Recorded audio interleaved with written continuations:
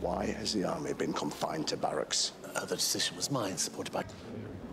Here's Molotov. 100 rubles says he calls his comrades and tries to hug us. Comrades. I'm not kissing him. It's not starvation, it's chafing. And then he planted a flag on Hitler's bunker, or he knocked the bear out with one punch. Either way, the man's a war hero. Excuse us, please.